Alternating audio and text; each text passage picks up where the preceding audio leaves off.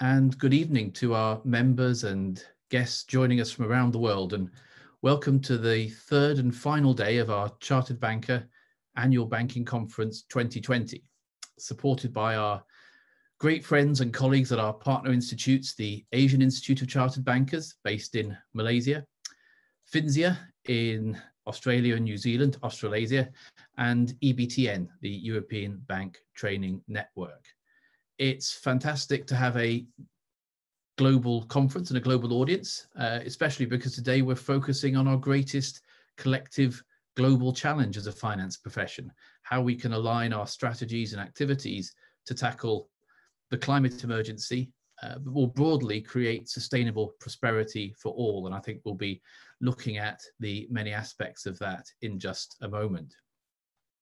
I'm Simon Thompson. I'm Chief Executive of the Chartered Banker Institute, and I'll be chairing our international panel on green and sustainable finance in about 15 minutes or so. First, though, it is my very great pleasure to welcome our keynote speaker on this subject this morning, Fiona Stewart from the World Bank. Fiona works for the World Bank's Global Capital Markets Group, which provides policy advice to governments around the world. Recently, that's included a, a, focus on climate risk and sustainable investment, both clearly linked, of course, and, and, and, both already having an impact on public and private sector investment and returns.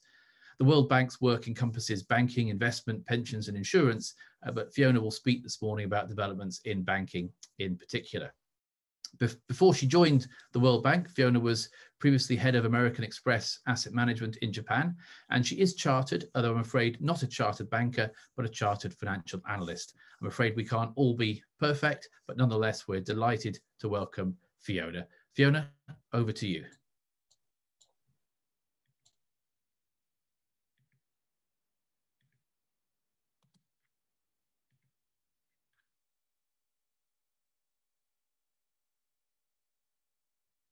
Good afternoon, good morning. My name is Fiona Stewart. I'm part of the long-term finance team at the World Bank. I'm based here in Washington, so apologies for the recording due to the time zone. I wish I could be with you physically, as well as in time zones in London. But um, um, thank you very much for the invitation. Great to talk to you today. Um, I wanted to run through some of the uh, trends that we're seeing globally at the bank. We obviously work globally in a lot of emerging markets um, around the world in different on uh, what we're seeing in terms of green and sustainable banking um, after the, the impact and through the impact of the, of the COVID and the pandemic, which is obviously hitting our client countries globally. Three things I wanted to run through. Um, one was a little bit about uh, the immediate uh, green markets, the green financial markets. Um, two, about the regulatory push and the regulatory developments that we're seeing. And then three, just some frontier edge areas that, um, that we've seen some developments on, which I think are quite interesting and be great to uh, hear about uh, what's happening from the UK as well. So in terms of the, the markets, um, obviously we're doing a lot of work in terms of the build back better, the, the post-COVID um, stimulation packages are starting to be thought of. We're working from the immediate stimulation. We had at the bank about 160 billion um, package we put together for over about 100 countries that we've been working in we're starting to think of the next phase and how you build green finance and, and a sustainable recovery um, into the packages that the countries are putting together. Um, many countries were actually seeing um, some very good embedding um, of, of, climate, of, of nature, of, of um, using this as an opportunity to address these issues as well as the immediate health and job crisis. Um, countries like Korea, which did a very good job last time in terms of financial crisis, green recovery. Countries like Pakistan, Egypt, um, a lot of uh, things like renewable energy packages going in there.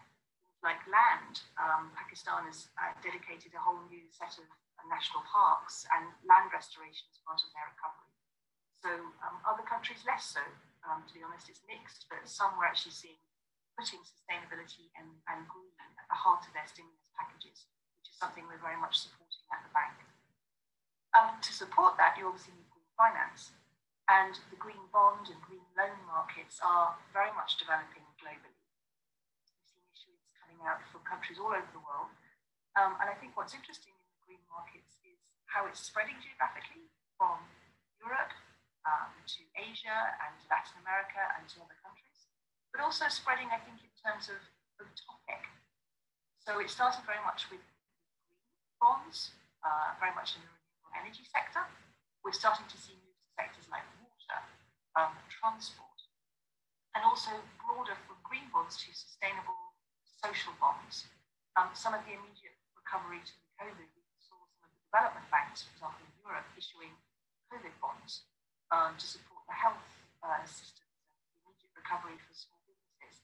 And we saw things like the pension funds buying some of those COVID bonds issued by the development banks. So it's broadening green market to a social market, and that's uh, a trend we're seeing. Um, Mexico issued a sovereign SDG bond last week, which was very, very well supported, very oversubscribed. So the green bond, green loan market is certainly developing. And I think beyond banks, pension funds, etc., the capital markets are getting involved.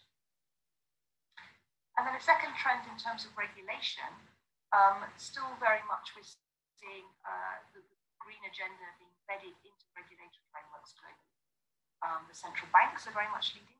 Um, many of you I know will know have, have maybe involved with the NGFS, the Network for Green Financial System. Um, they're doing very good work in terms of um, looking at uh, green regulation, uh, starting, I think, with reporting regulation, um, starting with things like taxonomies and labels, but also looking to see um, can, would, can or should prudential regulation also have a green angle. Um, in countries like China, we've seen the central bank in China, they have green credits, a green credit market, which affects the cost of capital of the banks. Um, and then moving again to other sectors, the Chinese regulators are looking at um, securities at, at, the, at, the, pension sector. Countries like Bangladesh, they actually have a target now for green lending banks. So very much led by uh, the central banks, and again, it's growing global. Um, we know the ECB um, is very much looking this up at this question of beyond market neutrality. The TCFD, I'm sure many of you will know and have, have been involved with the task force for climate financial disclosure. Um, our UK colleagues are very involved in TCFD and, and making that very much global and very much accepted. So very interesting developments from the regulators. One thing I think we've seen globally is that where this is really working is when the regulators and the industry, such as yourselves, works very closely together. So there's many of these task forces, task forces coming together um, for greening the financial system. Um, UK have a very good uh, roadmap to their green financial system. Um, we know the regulators in Mexico, again, for example, are coming together to form one. Uh, many other countries. So where you have this partnership between the regulators and the industry working closely together is where we really can start to see markets really starting to come together. Um, Colombia is another good example. We're working with regulators in Colombia at the moment, very closely involved in, in discussions with the banking sector and the non-banking sector, insurance and pensions, to really embed green into the financial sector in Colombia. And then finally, I just wanted to finish on a couple of um, issues which I think are I think are interesting and are very much frontier and leading edge at the moment. Um, one is a topic and one is. On the topic side, we're hearing a lot about nature. So uh, biodiversity is the new climate. Biodiversity is where climate was five years ago. How do we build nature risk, biodiversity risk into our risk assessments um, for balance sheets, the financial sector, and also for opportunities? How do we invest in uh, nature protection, conservation, nature-based solutions? This is very much a growing area. Um, we've just had a, a new TNFD, Task Force for Nature Financial Disclosure, has recently launched. Um, and that's following again to see what, what data is needed, what targets are needed, how do we report on this? The DNB, the Dutch central bank, was the first central bank to do an assessment to try and see uh, how nature risk affects the financial, financial sector, the balance sheet of the financial institutions in the Netherlands. So very much a developing area. It's difficult. Climate, you have one target, you have more of a measure. Nature is much broader, it's much more diffuse. We don't have the, the numbers there yet, but it's very much coming. I think nature as the new climate is one, I think, post post COVID in a green and sustainable uh, banking and financial sector, I think it's an area that's very much coming. And on the instrument side, one interesting thing we're seeing is this idea of sustainable loans or sustainable linked bonds. And therefore, I think the market is moving, the, the green sustainable finance market is broadening from use of proceeds, labeled bonds like green bonds, to this idea of sustainable linked. So you actually have performance indicators, which if the um, borrower hits, the actual change of the cost of capital will change. We've seen, again, I'm sure many of you know, um, some of the energy sector, we've seen health sector, uh, food sector, um, but there's a lot of interest in sustainable linked loans. The difficulty is finding the right KPIs, the right indicators that are robust, are stretch, are enough of an ambition, are easily measured. Um, but I think it's an interesting area and one where I think we can see more developments and hopefully really start to, start to see impact.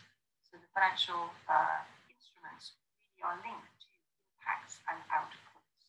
Uh, and I think that's a very interesting area that's starting to grow.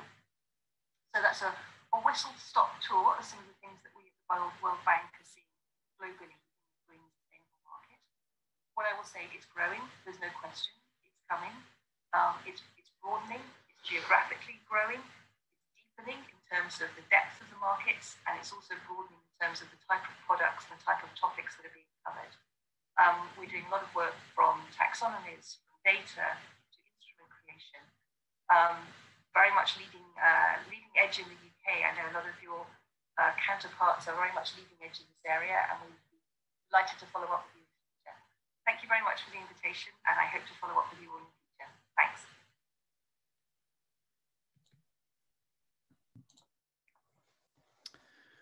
Great. Thank you, Fiona. Um, I'm sorry, I think the the volume at times, uh, the quality there seemed uh, to come in and out. At least it certainly did for me. So I apologise uh, if that was uh, uh, affecting others too.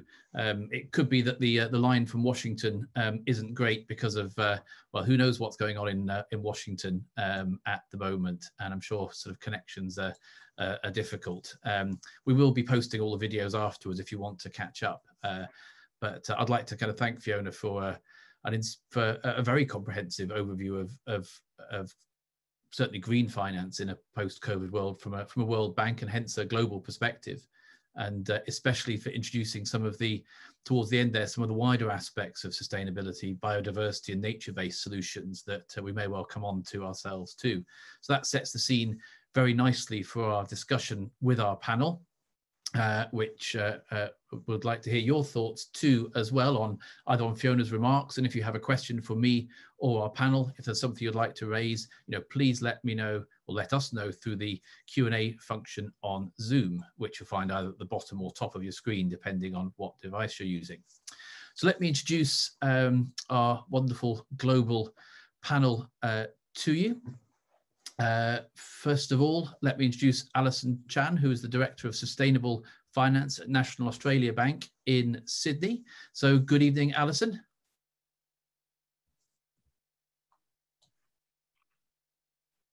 Apologies. Good evening, Simon. Good to join you. Hi, wonderful to have you. Uh, Elisa Moscolin, who's head of sustainability and ESG at Santander in the UK. And I should also say that Elisa is an incoming trustee of the Chartered Banker Institute, and uh, I couldn't be more delighted to have her coming on board. So Elisa's in London today. Good morning, Elisa. Good morning. Good morning, everyone. Hello, uh, and I'm delighted to welcome uh, Dr. Adam Eng, who leads on sustainable finance for the Worldwide Fund for Nature in Malaysia and represents uh, the Worldwide Fund in the Malaysian Joint Committee on Climate Change. So good afternoon, Adam. Good afternoon. Thanks. So just before I uh, turn to our panelists, let, let me offer a few introductory thoughts of, of my own as to, to why green and sustainable finance is such a, a large part of the future for the banking and finance professions and banking and finance professionals, us as individuals if we think back to perhaps more than a decade ago in the aftermath of the global financial crisis, I think many felt, certainly I felt, uh, that the finance sector needed to fundamentally reconsider its strategies, operations, and activities and align these with more socially purposeful, longer term aims and objectives that could deliver greater shared economic and social value. finance in short should seek to become more sustainable, which in the context we and many others use it generally refers to meeting the needs of current generations without compromising the ability of future generations to meet their needs too. Now, those there may be a wide variety of needs, of course, but many approaches to sustainability focus on three key aspects, often talked about in, in terms of a three-legged stool or, or similar metaphor. So the economy, the environment, and society.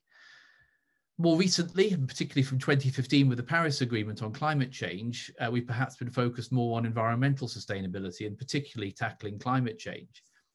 The Paris Agreement has three objectives. The first is widely known to limit global warming to below two degrees, and we'll assess progress towards this and hopefully agree further commitments at COP26 in Glasgow, now in less, just less than 12 months' time. The second objective is also fairly widely known to promote climate resilient development, but the third objective is perhaps less well known, but it's critical to our professional world. Article 2.1c of the Paris Agreement requires us to make flows of finance consistent with low greenhouse gas emissions and climate resilient development. And I think it's very telling that the key global climate change agreement has in one of its three main objectives singled out the critical role of finance. And as countries adopt statutory and binding net zero targets, as the UK has by 2050, finance will be expected and required to play a leading role in the transition of sectors, or key sectors, including agriculture, energy, and transport, but production and consumption overall to sustainable low carbon models. And the majority of the capital required, perhaps 80% or so, will need to come from the private sector. So it's a fantastic commercial opportunity for banks and bankers alongside an opportunity to demonstrate the positive social purpose of banking. But sustainable finance covers a much wider area if we think beyond climate change and more broadly in terms of the UN principles for responsible banking and alignment with the 17 United Nations Sustainable Development Goals, encompassing other areas such as eliminating hunger and poverty, ensuring gender equality, access to education and, and fair work, and looking at the environment and nature in a broader sense beyond climate, as we just heard from Fiona. So there's a great deal within that to cover this morning, a great many issues to explore, and I hope we'll have lots of questions from the audience too. Uh, as a reminder, if there's something you'd like to raise, please let us know via the Q&A function on Zoom. But now let me turn to our panel. Let me start by asking all our panelists uh, a similar question to begin with, which for me gets to the heart of one of the most important issues around sustainability and, and, and, picks up on my opening remarks. And that is what do we mean when we talk about sustainability? And and you know are or should our sustainability priorities be the same depending on the customers and communities we serve? So uh, alison perhaps i could come to you first in in sydney. I mean what what aspects of sustainability if we look uh, take a take a broad view of it are, are kind of most important to um, to NAB, and if I can put you on the spot to speak for the whole of Australia as well, uh, to Australia as a nation. Sure. So, I mean, I consider sustainable finance to be financing anything that furthers the, the goals of the, the, the full 17 Sustainable Development Goals. Um, but, you know, of course, that will um, depend on geography and state of development uh, as to you know, what is most critical to a particular um, organisation or government and you know, in the Australian context, um, you know, we clearly have um, a, a, lot of land that we need to look after. So, and bio, biodiversity is key. Um, at the same time, um, you know, the nature of um, our economic activity uh, is very emissions intensive. Um, and so you know, we need to focus on climate change, uh, as does everybody. but, I, but I think that you know, we, we have a lot of work to do there. there. Um, and, and that's certainly important to me and important to um, National Australia Bank. Um, I mean, I guess if I were to choose a, second um, SDG that, that, are, that is close to my heart, um, it would be hunger. Uh, I used to serve on the, the board of a, a charity fighting food poverty in the UK, um, and I think that's a, a really topical issue uh, in the UK at the moment, uh, especially with holiday hunger, with, with the kids not going to school. Um, and, and from the NAB perspective, uh, the second key um, platform is um, affordable housing. Um, and, uh, and so I, I, hope I've answered your question. Yes, great. Th- th- no, th- thank you. I think that's a good answer, and it's uh, um, it's kind of interesting to hear it from that perspective as well, and that uh, that actually, I mean, affordable housing, um, you know, that, that may be a, a, key topic for for NAB and for Australia, but I, I think there are very very few countries, if any, in the world where that wouldn't be a, a sustainability priority as well. But then it also starts to get linked into issues around around climate and things when you have sort of coastal communities who are who are at risk and may have to may have to move or where they're going to move to and how, how are we going to kind of pay for that and so on uh, great um, elisa um, so i mean santander's a, a, a global bank um, i mean how do sustainability priorities change across the geographies where you operate and uh, also i didn't mention at the start but you know you have personal experience of, of other parts of the world through your previous work at Vodafone as well. So, you know, please feel free to, to, to bring in that perspective too.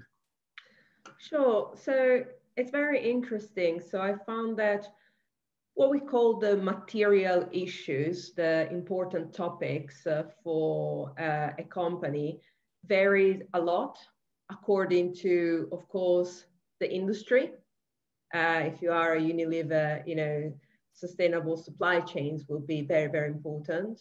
Um, and if you're a bank, probably financial inclusion, climate change, um, inclusive digitalization, especially if you're a retail bank, uh, ethics and culture uh, will be incredibly important.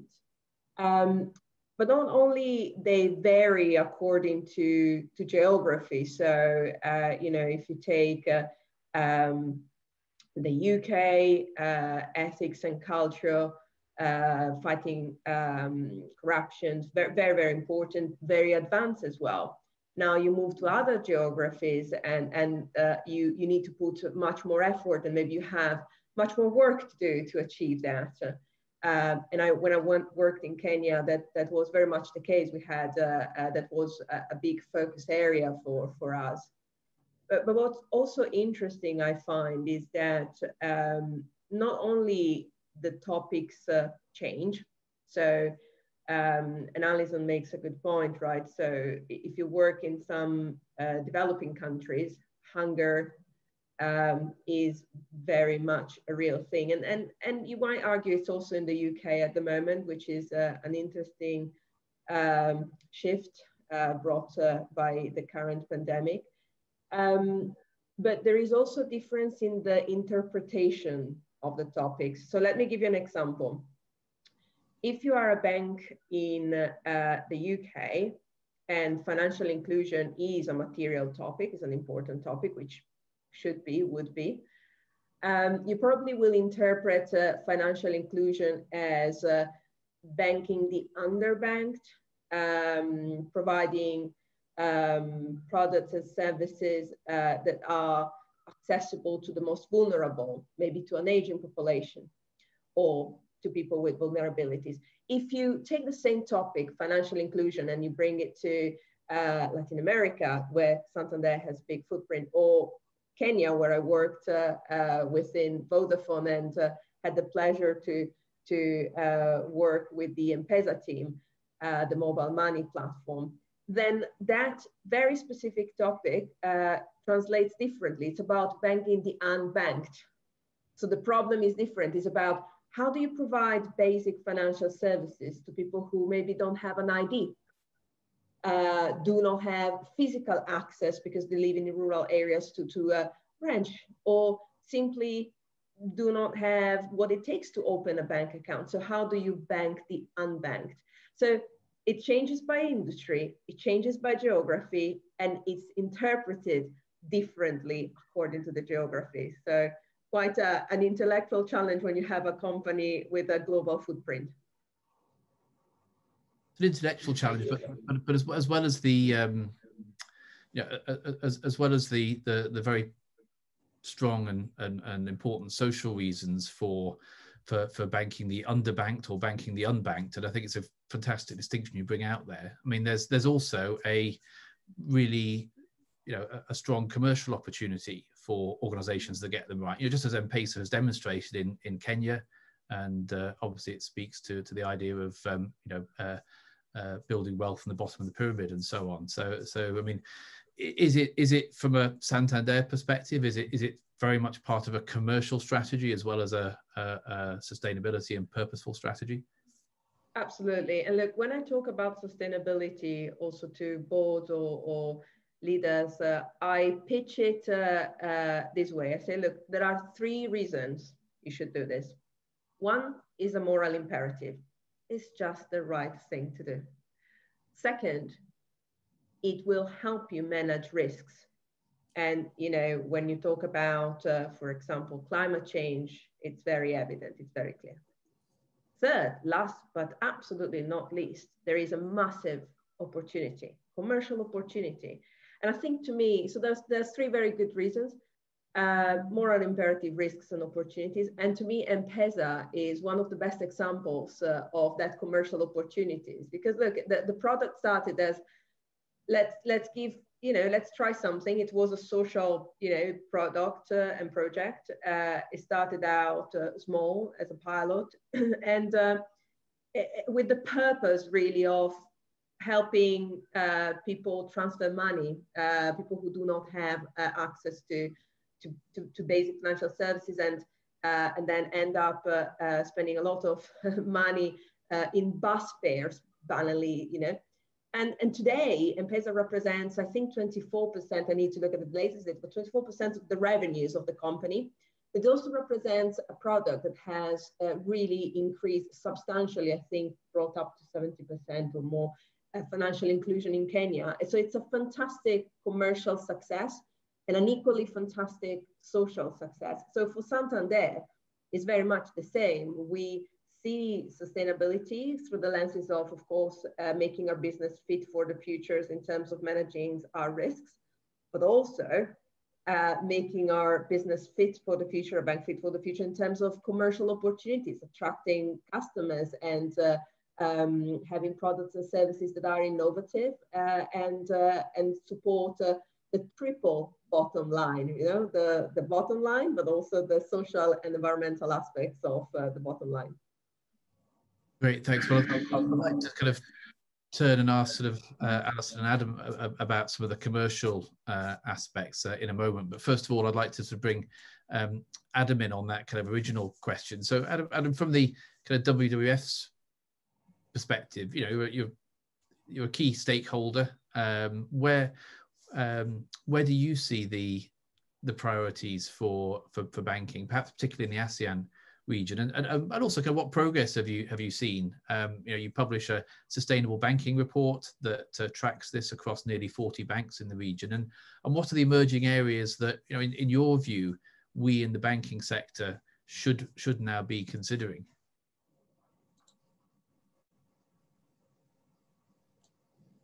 just let me first start with um, a bigger picture in terms of the monetary value of nature. So the World Economic Forum has estimated the that nature is worth about 125 trillion um, dollars.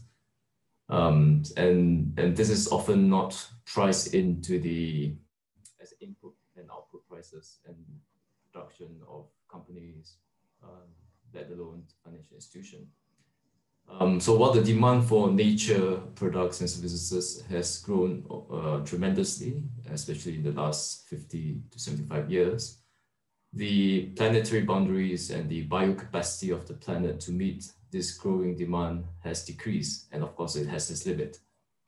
Uh, in fact, our Living Planet report um, this year found that the, uh, for example, the wild species uh, population has declined on average by 68% since 1970. Um, in this region, Southeast Asia, we are particularly vulnerable to physical impacts of climate change, such as uh, prolonged heat waves, uh, flood, um, uh, storms, especially in Philippines, um, uh, and, and sea, sea level rise. Um, as, as you know, some of the countries in these regions are island uh, based, although they are much bigger in size. Um, and studies have shown that climate change is also projected to cause the GDP to fall by up to 11% in, in ASEAN. And um, so, so those, those are the contexts in which um, uh, nature is so, so important, uh, not just in terms of the risk, but also the, as a necessity or necessary input to the production process. Or yeah. Um, so in, in WWF, we have um, identified sustainable finance as a key program uh, to achieve the WWF global goals uh, in terms of conservation, biodiversity, and, and nature, um, as well as the SDG. So there are basically three objectives uh, of this sustainable finance program at WWF. Uh, first is to influence finance to improve the integration of environmental risks, uh, whether this is in the policy processes or products. Products, you can see products as a form of risk solution to, to environmental risk. Number two is also to encourage finance to deliver greater investment for sustainable development. This is where the opportunity lies in terms of product innovation, uh, project finance, and so on. And third, last but not least, is also to use the influence of finance um, to basically drive sustainable practices throughout the rest of the economy, given the close link between finance and, and economy. So at WWF, in particularly, particularly in sustainable banking, um, we look in, into six pillars or six components where we try to uh, influence and advocate for best practices. And this is captured in our annual uh, sustainable banking assessment, which is spearheaded by WWF Singapore and also supported by the national office in ASEAN. So the six pillars here are purpose. Purpose here is basically anchor on what are the sustainability, sustainability strategy and whether banks participate in international forums uh, or, or, initiatives. Um, we also look at policy, how can banks um, make uh, better policy disclosure and policy coverage as regards uh, sensitive sectors. We also look into the processes as well as the people in terms of capacity building uh, products, and also last but not least, the portfolio level in terms of ESG risk assessment. So that that's that's the uh, the, the, the the few components that we, we look in. Yeah, as regards the the latest. yeah, sorry. could I, could I say, um, would it be possible, perhaps, you know, would you would you be able to kind of share the uh, the link to the report um, uh, afterwards, and we we can send out to participants because I think people would find that sort of interesting. So, so uh, what's what's the current state of play in the most recent report? I mean, are you are you positive and optimistic about the direction of travel in terms of uh, you know uh, embedding climate risk in organisations and uh, supporting sustainable investment, or or are you pessimistic about the the state of state of play at the moment? Uh, I must say we are optimistic. There are quite a number of improvements areas. Um, a number of banks have also made uh, quantum leap, if I was to use that, that phrase. Uh, one of it, which is a Malaysian bank uh, that's made tr tremendous improvement in terms of score. Uh, but as we all know, once you have made that, that improvement, uh, to maintain that position is also very uh, challenging because you must always be very innovative and up to speed. Um, we have identified a few areas in which the, the banks in this region can, can, can improve further. Uh, for example, most of the banks do not disclose their sector policies uh, in their website or in public domain. So it's key for, for banks to be encouraged to be more transparent. Uh, and, and sector policy here can include no coal, no deforestation, and other uh, key uh, sectorial uh, standards or policy that would showcase the commitment of the financial institutions. So, and could, could I maybe bring in Alison and Lisa on that that point of disclosure because it's perhaps that's a perhaps that does differ across jurisdictions because certainly from what I can see, I think certainly the UK and from what I know of Australia, there's a there is a lot more disclosure now. I mean, in the UK, it's kind of Mark Carney has spoken of the three R's kind of uh, risk, return, which are the, the same, Adam, as uh, uh, the first two of uh, you mentioned, but then um, also reporting, meaning disclosure as well. Oh, thank you, by the way. I see you just uh, sent the link around for the reports. I'll, I'll look at that as well. Uh, I don't know. So, Alice, Alison and Lisa, is, there a greater kind of focus in in your institutions um, and, and perhaps in in the UK and Australia more generally in terms of disclosure, whether it's at the sectoral level or or or things like um, you know more detailed climate risk reports. Um, was a great climate risk report. I think the Terra report from ING, their 2021 this year was a I thought absolutely a, a fantastic document. Anyway, sorry, I'll, I'll, hand over. Alison, maybe would you like to go first? Oh, there's absolutely a drive for better disclosure in Australia. Um, with, with, from our regulators, but the, the corporate regulator, the, the, central bank, and the prudential regulator um, all echoing the kinds of sentiments we've heard people like Mark Carney championing. Um, and, and that's driving a, a voluntary um, move towards TCFD disclosure. Um, and in fact, NAB is also um, you know, watching closely the, the task force for um, nature-based disclosure as well. and also, we shouldn't forget our, our friends in New Zealand, where TCFD reporting will become mandatory. Um, so de definitely, um, you know, a growing movement here. Yeah, and I think that the, the UK has been with Mark Carney really leading um, these efforts, and I think it's very important. And I'm seeing disclosures really evolving. Um, TCFD in the UK is likely to become mandatory, as you all know, and uh, um, I think that will be very important. But I, what I'm also seeing is a move now uh, towards more consistent uh, um, standards of reporting. So what, one of the challenges I think we currently have when we talk about non-financial disclosures is the proliferation of frameworks uh, um, and uh, standards that uh, companies can apply. So you got GRI, SASB, TCFD, um, and, and I've got someone in my team trying to figure this one out. And one of our challenges is you'd like to report on everything, but it, it is quite an effort. And, and what, what's the consequence of that? Comparability, which is a very purpose of, of reporting. It, it would make much easier for then investors and, and consumers to take informed decisions if the data that we disclose are comparable. If, if I may add another layer of complexity, is not just the comparability, but also uh, when we talk about climate and scenarios is the methodologies. So when we'll talk about TCFD, and, and I see Adam nodding, um, and, and we'll talk about sectorial pathways to where uh, net zero or Paris, um, comparability of the models will be key because otherwise we, we need to compare apples with apples. And if you use different methodology, we might not be able to do that. Uh, now, yes, it's complex, um, but I think that, and I'm seeing a lot uh, of movement towards sorting out this complexity. So as you know, that there are now efforts to uh, from from the major uh, standard settings uh, globally to uh, bring standardization, and that it's a very welcome move.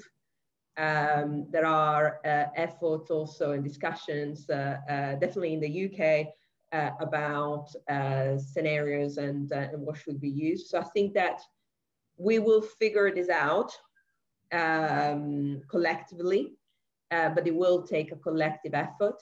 and it will take, I think, a lot of collaboration between um, the industry, different players, banks, but also uh, government and academia and, uh, uh, and, and, and the civil society expertise. So, Alison, did you want to come back in there? Yeah, thanks. I, I absolutely agree with Elisa that comparability um, is, is a goal of reporting and standardization of methodologies will of course contribute to that and, and also standardization will contribute to aggregation of all the scores to look at an industry-wide or country-wide impact but having said that, I wouldn't wait for um, those standards to be developed on an industry or company wide basis because I think even independent um, reporting is valuable. It, um, as long as people are adopting a consistent methodology year on year, it allows them to measure their own impact um, and, and, and to drive forward improvements and to quantify improvements that they've made. So I mean, all, all for comparability, but I wouldn't, I wouldn't hold my breath for it. No, I, I I totally agree. Don't hold your breath; it will end up badly. But uh, um, definitely, um, so you know, the first step is a journey, like everything. Sorry, I know it's an overused word, but it is um, what it is. and I think you're absolutely right, Alison. We, uh, my team and I are making lots of efforts in terms of, uh, um, you know, contributed to the thinking while we improve disclosures and transparency, because that's the very first step. And the fact that we don't have a, a, standard shouldn't become an excuse for companies not to disclose. So, so totally with you. And it still create value. So look, the reality is that transparency and disclosure, even if it's not yet comparable or not as we'd like, as far as we'd like it to be, it's useful. It, it gives information, it creates transparency, and uh, it will enable us, it was the first step for us to work in towards that standardization. Can I come in here? Um, yeah, I totally agree with Elisa and Alison. I think another point to add here is uh, having a, a clear-cut and science-based taxonomy, um, whether it's at national level or at least at the, at the financial regulatory level. Um, so in the case of Malaysia, we are in the process of uh, developing a climate change uh, principle-based taxonomy. Um, so there are, there are lists, there are six uh, guiding principles and there's also a classification system. Um, so that would help uh, financial institutions and to some extent uh, the corporate clients to, to know uh, to what level would one asset to be considered as a gray, semi-gray or green and, and brown. But having said that, I also agree that we shouldn't be just waiting for taxonomy to be produced and, and doing nothing. Um, for example, there's one example in, in Singapore where the, the, the DBS, uh, the largest bank in Southeast Asia, has its own version of taxonomy uh, and it's publicly, publicly available. And also, of course, it has also obtained uh, second party, second third party um, expert review of the taxonomy. So private private sector in terms of financial institution can also kickstart their own taxonomy in consultation with experts. Um, in addition to the regulatory and, and governmental efforts. And, and uh, thanks. And I think on the, on the taxonomy point as well, um, you know, that there's no need for institutions or countries to reinvent the wheel. We, we now have the EU Sustainable Finance Taxonomy published, um, and I think just saw about was about ten days ago as well. It was announced that um, there's a, a, a common ground working group between the EU and China to try and align taxonomies. And my understanding is that actually, you know, it'll end up looking very substantially like the EU one. Um, so I think that probably emerges as a global standard. And then, Elisa, I think you were alluding to when you're talking about standardization there, were you alluding to the um, the work the IFRS are doing at the moment? Uh, so that's the those are the people behind international accounting standards. Um, which of course are international except in the US. Um, uh, which will be always perhaps be slightly different. Who knows where that goes? We won't get into that debate this morning. Uh, but again, they, have got a. I think the consultation from the IFRS is open till sometime in December. Um, but they are planning quite a major project to try and sort of standardise uh, large aspects of of reporting. Um, but maybe moving on from reporting to return, actually, if we if we use uh, the the three R taxonomy uh, that Mark Carney provided, um, you know, as we've talked about, there's a strong moral case for sustainable finance, um, but we've also alluded earlier to there being a strong business and commercial case uh, too. Um, so, you know, where where do you see the opportunities for financial services in general, the greatest opportunities for financial services in general, and, and perhaps you know your institutions in particular, where that's applicable, kind of both commercially and in terms of sort of wider contribution. Um, I don't know, sort of Adam, would you like to give us a kind of a, a stakeholder perspective first of all? Um, you know, if if you if you stopped working for WWF and became a chief sustainability officer or chief executive officer in a in a bank in Malaysia or Singapore, you know, what would be the the first thing you would do in terms of uh, aligning your strategy around sustainability? I think my colleagues on the uh, listening, so Um, so maybe start off with when we talk about opportunities, we also always look at what are the blind spot and the gaps. Um, I mean, it, it's quite well known the fact that, that the uh, World Economic Forum has estimated 2.9 trillion investment gap per year to achieve the SDG, but not not so known is the um, the amount or the requirement that is needed to preserve and restore ecosystem alone.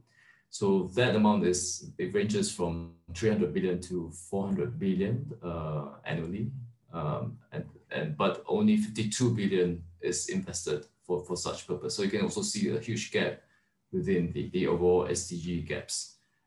Um, so, so that's one, one on the gap aspect.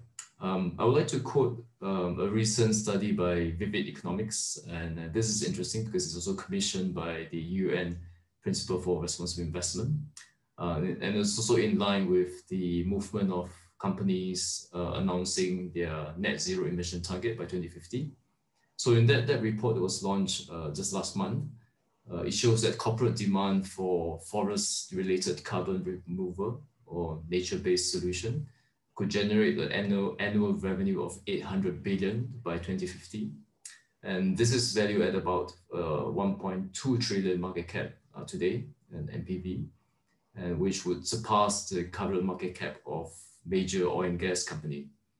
Um, we have seen that over the last uh, couple of years, from 2019, there, there, has been a significant increase of companies committed to net zero. Um, the figure shows that from 500 in 2019 to 1,541 in 2020. And this movement has actually driven the demand for nature-based and technological solutions that actively suck carbon from the atmosphere um, so as we can see that there are many uh, investment in the renewable energy and energy, energy efficiency uh, sector, uh, but not so much has, uh, in terms of focus, have been given to the carbon sink approach.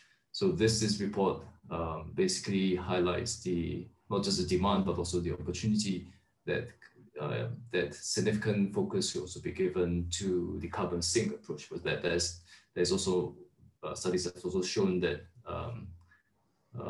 nature-based solution is also more cost-effective uh, because it's natural in, in, that sense, and it also creates more job opportunity. So last month, uh, the International Labour Organization and WWF has also come, come up with a report on nature-based solution and the, the multiplier effects from the jobs created, uh, whether it's in China, Vietnam, even US, and there's a number of statistics that shows different multiplier effects in terms of job creation and livelihood gains in different types of nature-based solution. So that, that would, will be one thing that um, that will focus on uh, rather than competing in the red ocean of renewable energy.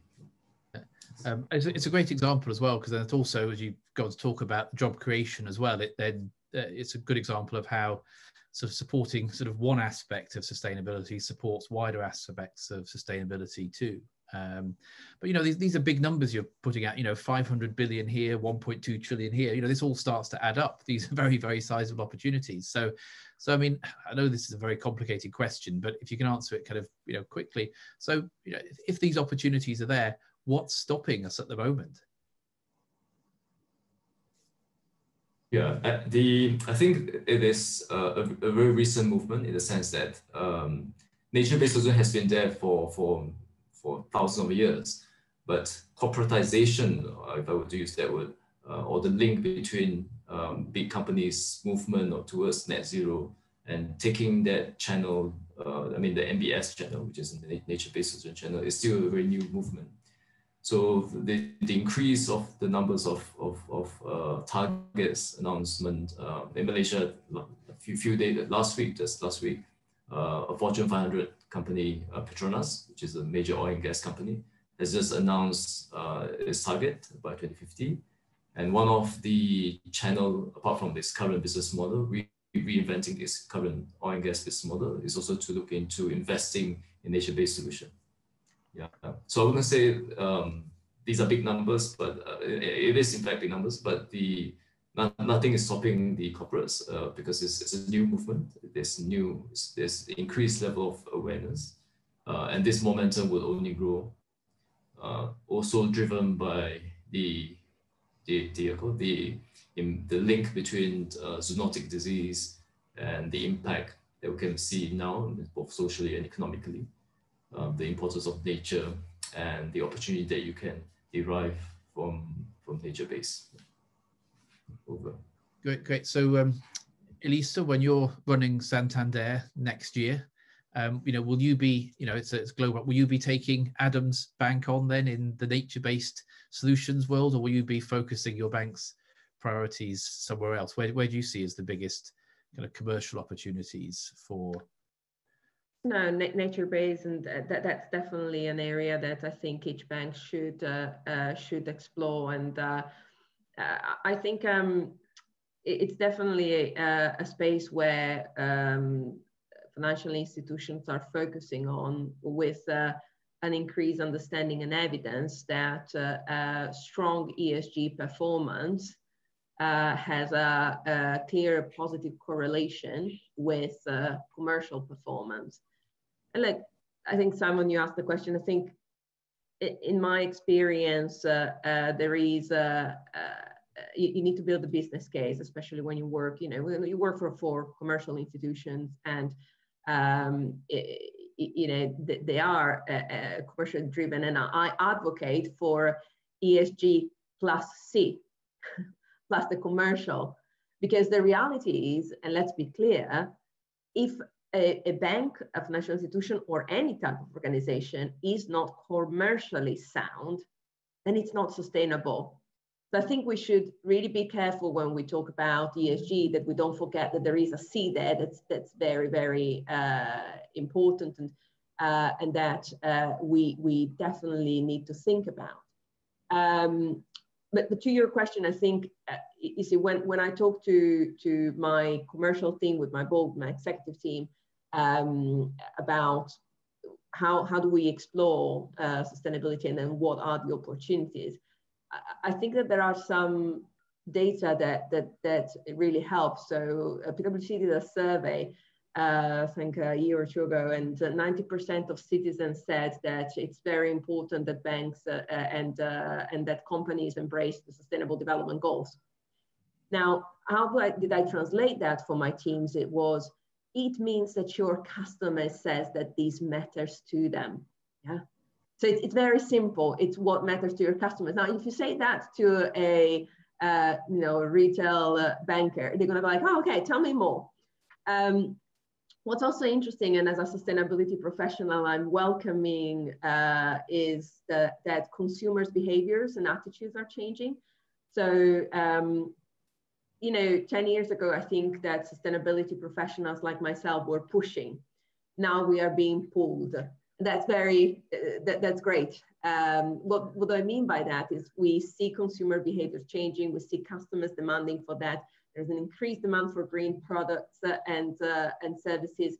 Uh, we are getting um, more and more queries from customers about how are you using my money um, and, and challenges as well i think you should be doing more and if you don't i'll, I'll, I'll switch bank um, so, so I think that we're experiencing as financial institutions a lot of pressures, uh, which I think are positive pressures uh, that will uh, help us to move and move quicker. Um, but any change, as we know, requires a bit of time.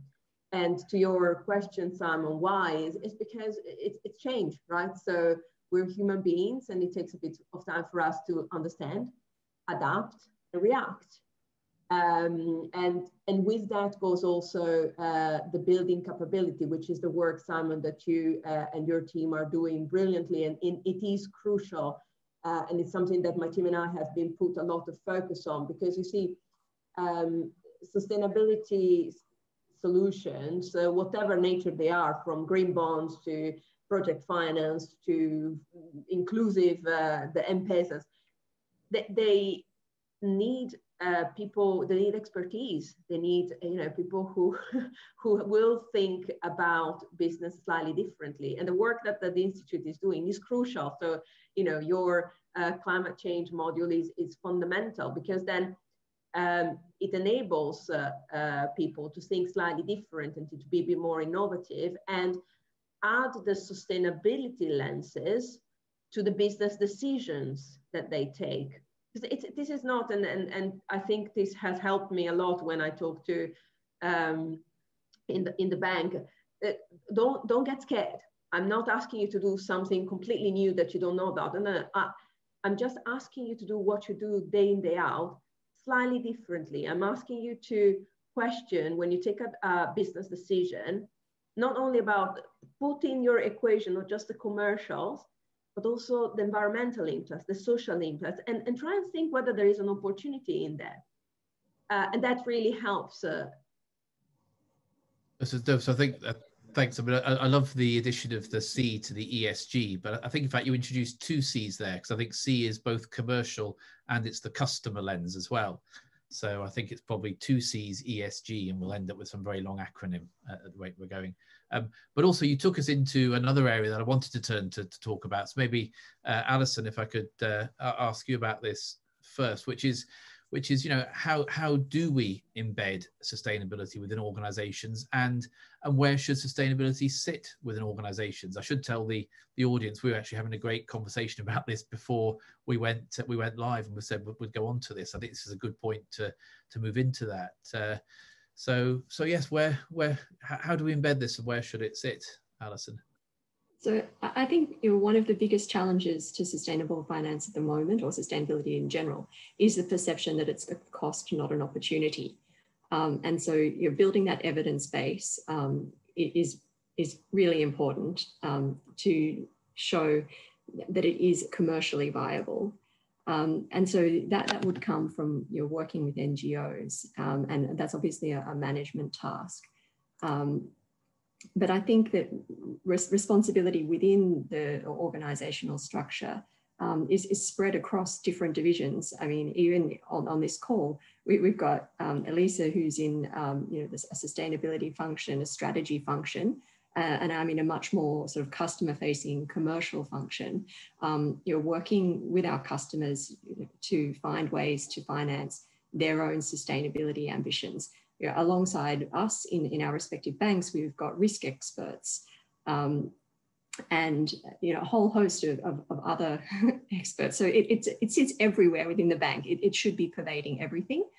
Um, and you know, I, to, to touch on your point about what we were talking about earlier, I think it should also um, you have some leadership from the board.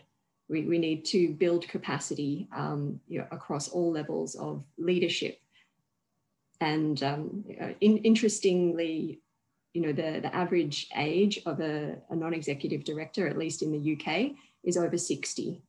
Um, and, you know, if you're, that's a very different generation to most of our customers, most of our employees. Um, so we need to make sure that our boards are well informed on sustainability because millennials um, you know, have a much higher interest in sustainability and in um, aligning themselves with organizations that, that share their values. And actually, as, and as someone who's in a, a customer facing role, are, are, you directly feeling that increased demand from customers that sort of Elisa mentioned earlier? Um, so my customers are, are corporate customers uh, who are looking for finance, and they are absolutely feeling the pressure from their stakeholders um, to to transform the way they do business. They're, they're being asked questions every day from, from people who are considering whether or not to lend them money. Um, what are you going to do with this money? How, how are you making an impact? Um, and that's partly driven by the fact that the investors themselves are accountable to their investors. So you know, it's incumbent on all of us um, as people building pension pots to ask the people managing our money, what are you doing with it? Um, and, and holding them to account. Simon, I'm far too passionate about that first question, so you, I'll, uh, I'll have to to to jump in here. Uh, Alison, totally agree with with everything you said, and Simon, if you allow me, um, very passionate about where sustainability should sit, and and have been on on a journey, uh, even personal journey, uh, to elevate sustainability in the business. I am a strong advocate that sustainability must sit around the table where decisions are made. And I've been on a, a mission to elevate sustainability within the organizational chart of every organization I've been working for or talking to. That means that uh, I believe, you know, you have to have a chief sustainability officer or a uh, ESG expert that has access uh, uh, or sits around executive teams and committees. And I'm seeing with pleasure that uh, a number of boards are now bringing in sustainability ESG expertise, which I think is crucial. And uh, uh, at Santander, we've done a lot of work on this. We have uh, built a very strong governance. We have brought sustainability at the heart of our business and our executive team agenda. Uh, we are a constant feature uh, of executive uh, committees meetings. Uh, and uh, and we and and we have a board committee that has oversight on this agenda. And I think this is very very important. Now, connected topic is then the board needs to be asking the right questions. And there is a lot of work to do, which Simon, and I will pick uh, up aside, uh, around uh, um, how NED and uh, uh, board uh, can be brought up to speed because the point that Alison made is they, they, they are not typically ESG experts or, or people who are not have been as exposed uh, to, to the ESG or sustainability transformation. So how do we support them and make sure that they ask the right questions? The NED or a board or a chair who ask the wrong questions on this topic can do a lot of damage. That's a great. That's a, that's that, that's a great point. I think. Um, uh, so, um, uh, Adam, this was something that um, you know, you know, in the uh, in the work WWF's been been doing on um, uh, looking at uh, uh, the banks in in ASEAN. You said this is one of the indicators uh, you've been looking at. So um, where does um, sustainability sit in terms of of governance and structures within with, within banks? Um, I mean, I know it's always hard to generalize, but kind of how how, how would you characterize the the positions of the, of the banks you analyze? Are there, are there any examples where sort of one or more institutions does it particularly well? Do you feel? Yeah. Yeah, so the result shows that um, overall 74% of the SS banks uh, last year, based on uh, annual reporting and sustainability reporting last year in ASEAN, has improved their scores compared to the year before. Um, and we have seen significant improvement uh, as well, um, particularly in, in the top three uh, banks being uh, the Singaporean banks and, and one Malaysian bank. Um, in terms of uh, uh, climate change, for example, the more banks are also recognizing the importance of climate change to society and business. Um, there are also more banks that are engaging with uh, regulators um, and, and also more banks setting uh, sustainable finance targets, which is actually a, a key uh, a key uh, component of, of governance and strategy uh, at the board level and senior management. Um, there's also a significant improvement in terms of um, product level, whereby banks are also increasingly in integrating ESG elements into their product and services, especially in Malaysia and Singapore. Uh, having said that, um, there's also a number of areas in which um, the sustainability practices can be improved. For example, um, not many banks have looked into um, the whole supply chain, uh, they're requiring not just the upstream, but also the mid and downstream um, to also embed sustainability across. Um, so traceability is also one key key indicator, uh, especially in, in the palm oil sector and, and forestry sector. So this is not something that, that all banks are, are focusing on. Um, not, not all banks are also partner uh, with the global standards or initiatives. Um, although we have, um, I think in ASEAN, there are three banks that are part of the UN uh, principle for responsible banking. Um, so, so at least there's this. I think that there's one. I think two banks um, have just announced this year. Uh, another bank the, three banks announced it in uh, in 2019. Um, but we, we would like to see more and more banks uh, in being involved in all these uh, international standards because not only that that is a, shown a sign of commitment, but it's also about knowledge transfer and, and knowledge sharing uh, the same as in the case of the central banking uh, world, whereby you have the NGFS as well. Fiona mentioned just now. I think the Central Bank of Malaysia is also benefiting significantly from being involved in various work stream uh, within the NGFS. Over. Great, thanks, thanks, Adam. Um, and then maybe moving on to the sort of final point I wanted us to discuss today. Uh, and in fact, Elisa, you, you alluded to this in, term, uh, um, in terms of kind of your your your your, your journey as well. And, and that's and it's a question we've you know we, we've we've had from the audience here and, and from others as well. Uh, many sessions uh, things where people have, have asked, well, how do I get into sustainability? You know, um, this is a really exciting area. It's it's something that um, you know Greta Thunberg, David Attenborough, my chief executive are all talking about. My my kids, my grandkids are, are pressurizing me and saying, "What are you doing?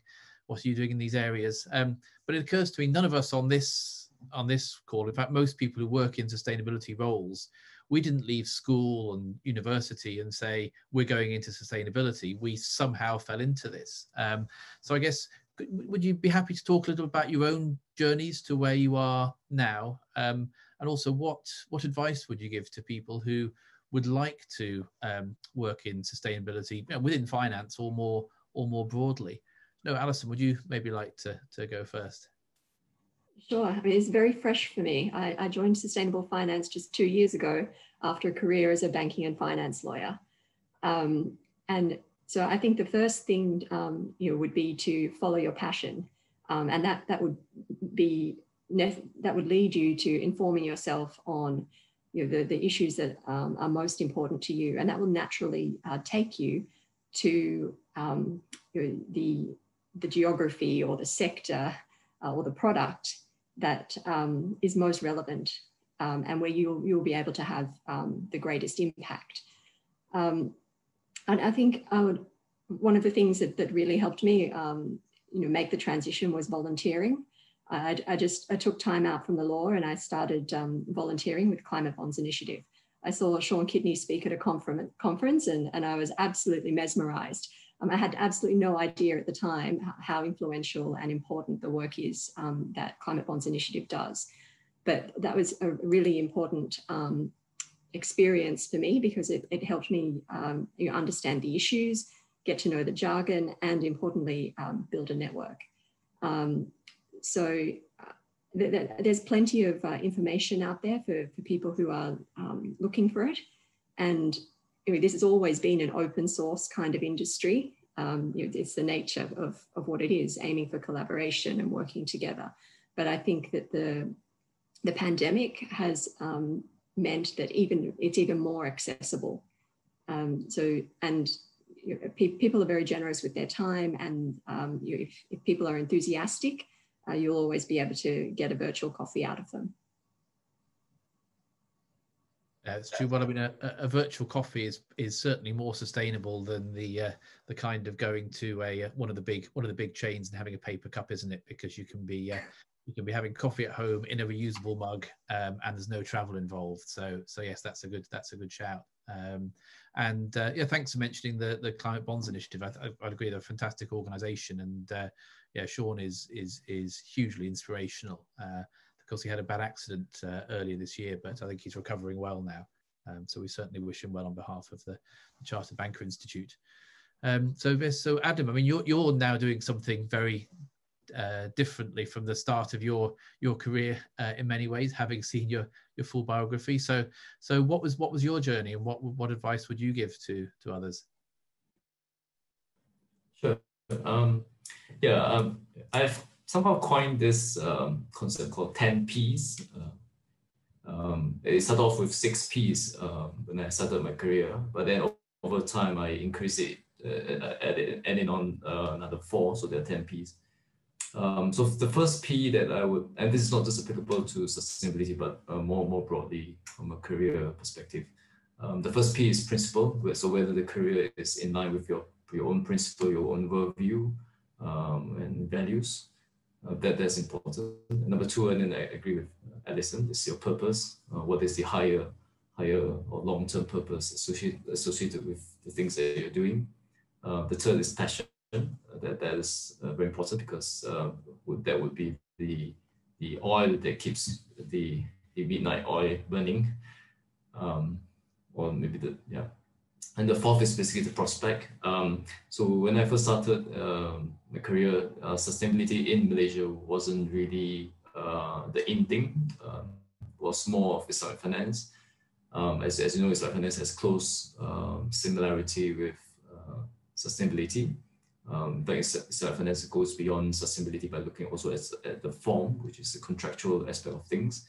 So, so, so there's no much point of uh, funding renewable energy uh, too much with debt because that would also increase indebtedness.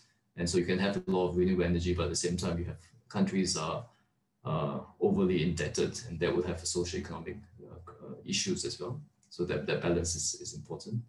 Um, the fifth P is the people factor. So um, as what Alison mentioned, you get good, nice people, nice colleagues, nice bosses and, and support system. So that, that's also very important. Um, the, the sixth P would be probably uh, more capitalistic, uh, the pay and the perks. Um, the other P's are like uh, the pressure, the, the pace. Not everyone can can do a medical housemanship that you works that you work uh, 12 to 14 hours a day. Um, and sometimes it also depends on what is the are you in the position to make um, meaningful changes. And position here is not so much about whether being you're being the CEO. Um, there's there's a nice book by Robin Sharma on uh, the leaders without title so you can you can um, be a leader and you can be in the position of when you make meaningful changes as a leader, even if you're not uh, having that title. Um, the ninth and 10P are, are, basically the performance. So is that uh, is the company that you're joining performing, or is the overall um, sector performing? And we can see that, uh, especially in the, the crisis uh, period, uh, this COVID crisis that ESG, a number of studies have shown that ESG has outperformed both in terms of portfolio performance, risk adjusted return. And last but not least, the 10P is the, the place um, where, where you're working. Is it far from home and, and, and yeah, outside the country and, and, so on. Wow. So are we are we going to see a book on this? Sounds like a book, the 10 P's of career success or something. So uh, uh, when when's it coming out? No, there's no, no, there's there's one book that I'm planning to read. Um, I, and also I, I was um, mesmerized by it when I was um, part of my journey to the intellectual discourse of sustainability. Uh, Professor uh, Alex Edmans from the London Business School.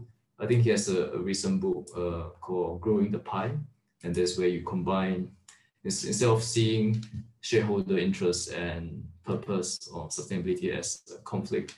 Um, or you need to, to, to as a trade-off. Um, his, his, his thesis is basically to expand the pie so that you get more of shareholder interest and at the same time more of purpose or sustainability and other stakeholders as well. Yeah, so that's, that's one book that I, I, I would recommend. It is no, I, I can thoroughly recommend it too. And in fact, unfortunately, we, we were going to have an institute event with uh, uh, with Alex, um, but that was one of the ones that was scheduled in February and just got caught out by the by the lockdown, unfortunately. Um, but yes, it's got a lot of coverage in the UK. Um, so, Lisa, what, what about yourself? You, you, have had a, a very interesting uh, journey through sustainability, uh, I know. Um, and I know you also get a lot of people asking, asking, you know, well, how do I get a, how do I get a job like yours? So, um, so Lisa, how do I get a job like yours?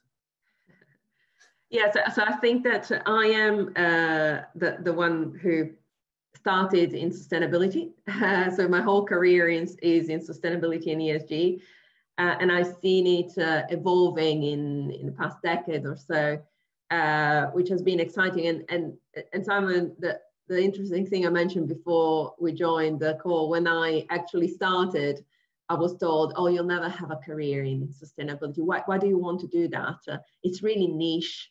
You're going to be a bit of a tree hugger. Um, and I remember that conversation. I was a, a very young graduate, uh, and I and I had and I gave it some thought. And I thought, but then I, I decided, no, I believe in this. I'm passionate about this, and you know what? I will create my path, and it's going to be hard, but but I will create it. I will, uh, um, you know, uh, that's gonna, I'm going to make that my mission to to make a, a sustainability a career, a proper career. But I think that sustainability is a bit like HR. You remember maybe 20, 30 years ago, HR was this thing that you would give to someone who had a bit of spare time, right? And, and now it's become a profession and it's really professionalized. Uh, you've got uh, uh, branches and so on and so forth. I think that sustainability is going through a very similar journey. Um, so, so I, I embarked on the journey and but let me be clear if anyone is thinking to, to, to, to go this direction, it's hard Uh, I, I think you have to know this. It's hard. You have to be very resilient and you have to be very competent.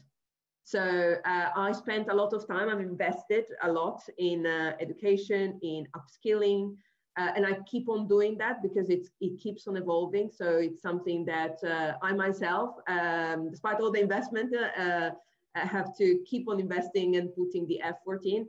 And I think that Simon, you in the Chartered Banker Institute is doing a great job. I know you've got a number of curriculums now that touch upon the topic. So I would invite everyone to, to, to, to look, and there are many others as well. Uh, so so I, I, would say anyone who wants my job, I would tell you two things. Uh, one, don't invent it, please. And, and sorry, I'm being very blunt here but uh, I think it's it's very it's the death of a profession if we just invent. We need to be competent. It's important, um, and, and, therefore do invest in upskilling. I'm sure that that your organizations will support you in this because this is a growing uh, uh, topic, uh, and and every company uh, is interested. So that's that's great. Use that. So, so do invest, do link, look at the Chartered Banker Institute to find, uh, uh, um, you know, courses. Uh, uh so don't invent it, invest in, in uh, upskilling. And, uh, and second, do not throw away your expertise. So, um, you know, I think it, it's very important that if you are a uh, structured finance expert, if you are a mortgage expert, uh, um, you, you, can and you should still do sustainability. And actually, we need you. Um, so your expertise is crucial. What you can do is become a sustainable mortgage expert, a project finance sustainable expert. And I had someone recently coming to me uh, saying, oh, you know, I, I need a change in career, I want a career with purpose, so I'm going to drop everything uh, and I'm going to retrain. And I'm a, I'm a marketeer, I'm a PR person, but I'm going to retrain.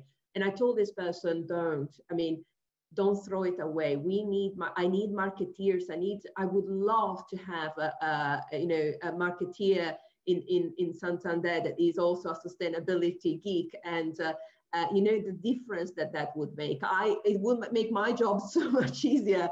Um, and, and, then she went on and did that. So she basically trained uh, on sustainability but then went to do pr and marketing through the lenses of sustainability. And she came back to me um, you know a year later saying um, just now basically saying actually you know that, that makes a lot of sense and i love that i can use everything i know but through the lenses of sustainability. So two things don't invent it and uh, and, uh, uh, and use your expertise uh, in your advantage. Great. Well, well th th thanks everyone. Some great great advice all around um, and uh, on that kind of marketing and pr front i mean you know after all uh, you know one thing nature needs is a good pr agency. Uh, you know, I mean, it's it may it may have David Attenborough at the moment, um, but uh, but yes, the more kind of PR professionals, marketing professionals we can get to to speak up for whether it's for, for, for nature or for or for communities that don't have a voice but need a voice, then that's actually a really important part of sustainability, giving a voice to people who, who don't have it, I think. Um, we've actually got one quick question from the audience. I was I thought we might manage to get through the whole of this session without mentioning the pandemic, but apparently the audience are not going to allow us to do that. Um, so just to kind of paraphrase the question, we haven't we haven't got long because we'll have to bring it to a conclusion. But um, basically, it is uh, uh, yeah, it's to do with COVID nineteen and um, you know what has COVID nineteen has made uh, uh, has, has brought sustainability into the into the spotlight for many firms, but then what's the impact for those that haven't adapted quickly?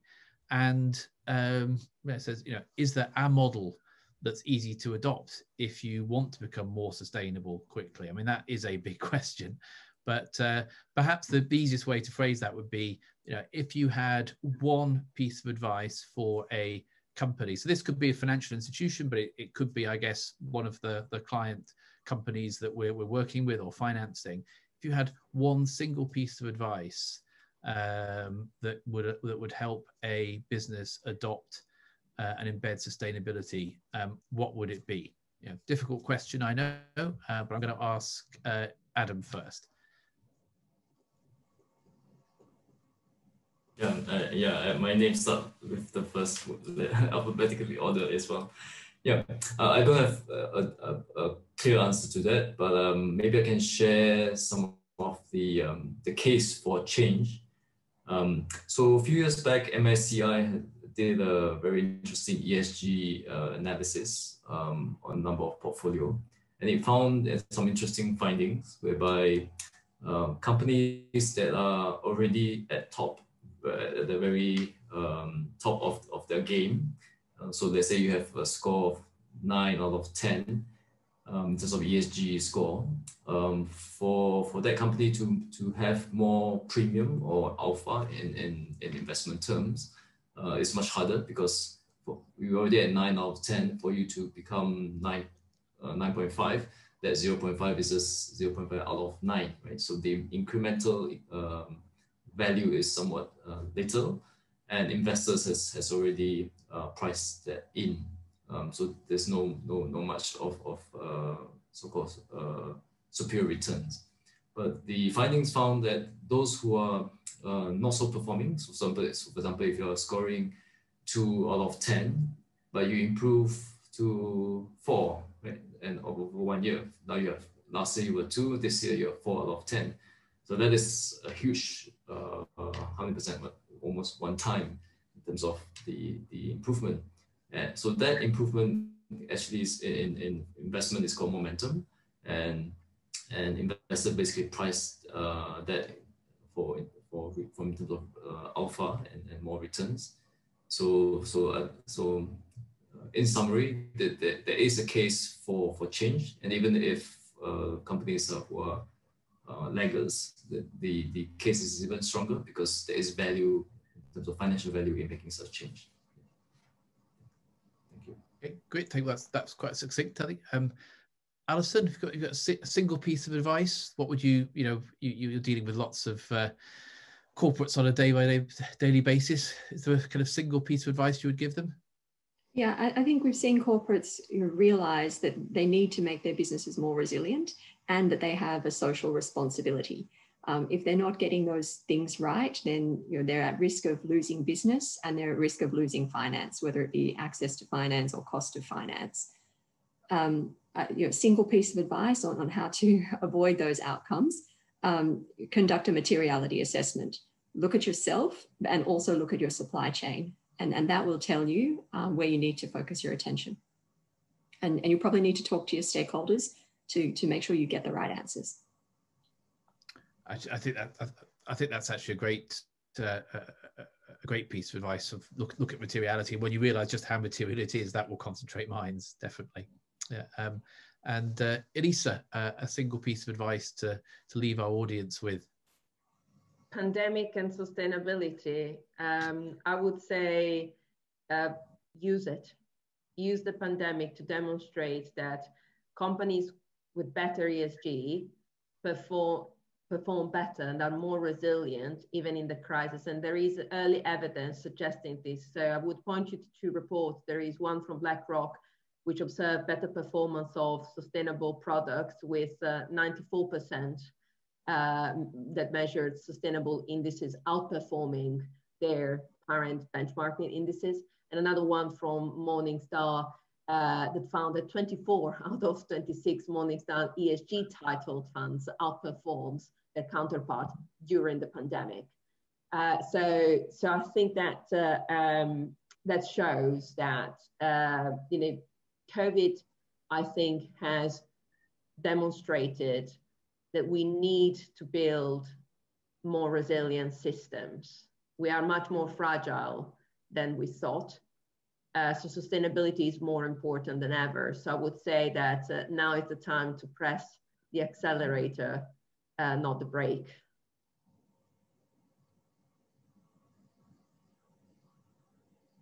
Great, thank you. That's that's a, that's a kind of wonderful uh, phrase to to to leave, to leave it with, I think. And um, unfortunately, we do have to we do have to leave it uh, here as we're just about out of time now. It's been a it's been a hugely enjoyable and insightful discussion for for me as as chair. I hope it has been uh, Alison, Adam, and Elisa for you too, and for for all of our members and guests listening and watching into whether you're what you know listening live or whether you'll be watching on catch up later. Uh, I mean, I've certainly learned a lot over the, the last 90 minutes, and I hope everyone else has has too.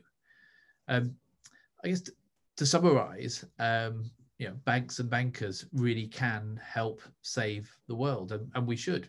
you know, we we can and we must, as set out in the Paris Agreement, the principles for responsible banking, which were mentioned uh, a couple of times. You know, they, they play a, a leading role in helping individuals, communities, countries, and our and the whole planet transition to a sustainable low carbon world that and create shared prosperity for for current and future generations um, but picking up on some of the points made during the panel you know this transition needs to be led by increasing numbers of finance professionals whether those are those are finance professionals in boardrooms or whether they're finance professionals in the front line with a, a an understanding of the critical role that what we do in financial services plays in supporting that shift to more sustainable economic models and with the the knowledge and the skills of finance and other areas whether that's marketing or dare i say it at least even hr uh, to be able to develop and deploy products services and tools that can mobilize the capital to support that transition.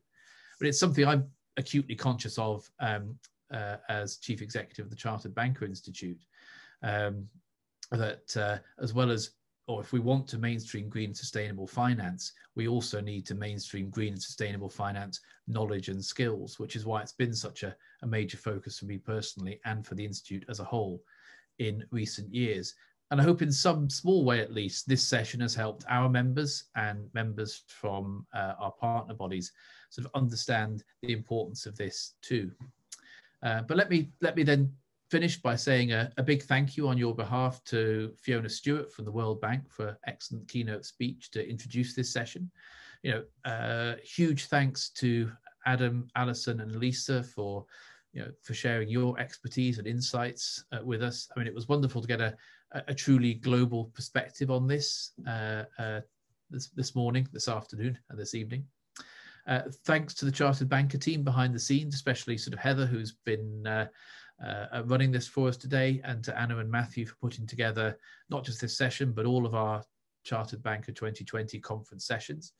Thanks to our colleagues at the Asian Institute of Chartered Bankers in Malaysia, FinSIA in Australasia, and uh, to colleagues through the European Bank Training Network. Um, and thanks to everyone who's joined us this morning, afternoon, and evening. I look forward to seeing you all again soon. Uh, but until then, have a have a great day or a great evening, uh, and on behalf of the Chartered Banker Institute, uh, thank you very much and goodbye. Thank you so